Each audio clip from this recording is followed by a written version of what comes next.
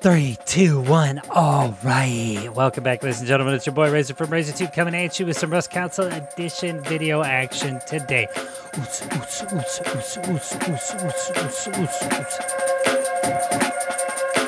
Jeez, I did it again. Anyways, welcome to the channel. If you guys are new to it, the, I mean, the channel, drop that sub and like right now and hit that notification bell for the most up-to-date and recent Rust Console Edition news. And today's topic, we're going to talk about the wipe update with the Christmas event and the Rock Glitch patch that just dropped for the PlayStation 4, Xbox One, Xbox One X, Xbox Series X, and all the OG consoles out there. So, a big, huge pain point for the Rust uh, Console community was the Rock Glitch, okay?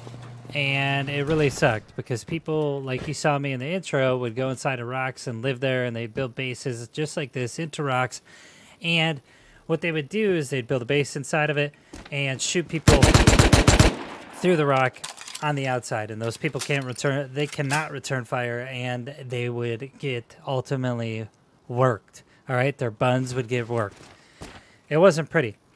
But the cool thing is there's a fix for that. They dropped a patch for the rock glitch. No more doing that. There's a kill zone underneath the map in game. So anybody who tries to do that exploit gets murdered in game um, instantly, which is nice. And it works, which is cool.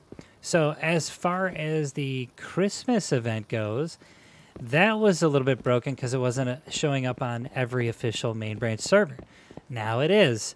So Make sure you guys uh, go reap the benefits with the Christmas patch. I got some of the example items I talked about in the Christmas patch uh, video the other day. These stockings and super stockings. What do I got in here? All right, that's decent. But all right, so let's talk about the wipe update. All right, let me uh, let me get into it. Okay, let me. Uh, where where are you? I wasn't ready because I'm stupid. And okay, so the next wipe is going to be December 15th, which is tomorrow. Weekly server is going to map wipe, and the skin store rotation comes through with some brand new packs. And guess what that means? Get your mommy's wallet ready and buy them skins, boy. No, I'm just kidding. But with all said and done, I'm glad they fixed the rock glitch. That was super annoying. I actually just got exposed to it last night for the very first time. Um, and I've got a lot of hours in Rust Console, okay, and on PC.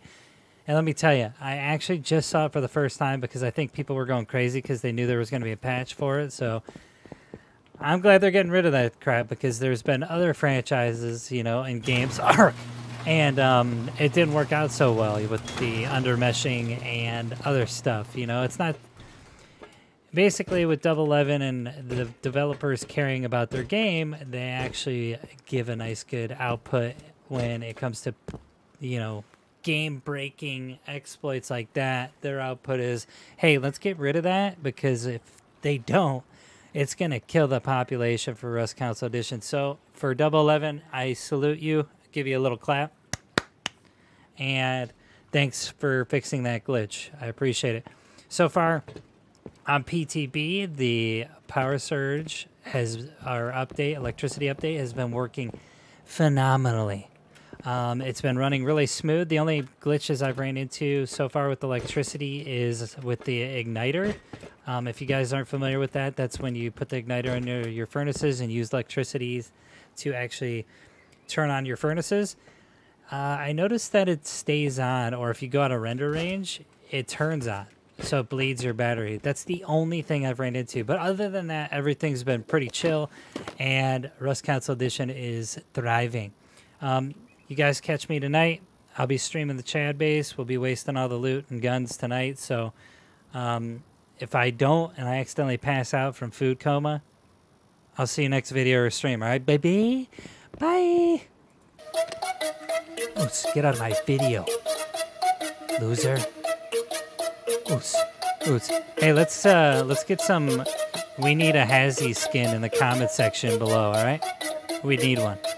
Like I want a hazmat skin. Real freaking bad. Let's go double eleven. Crank it out.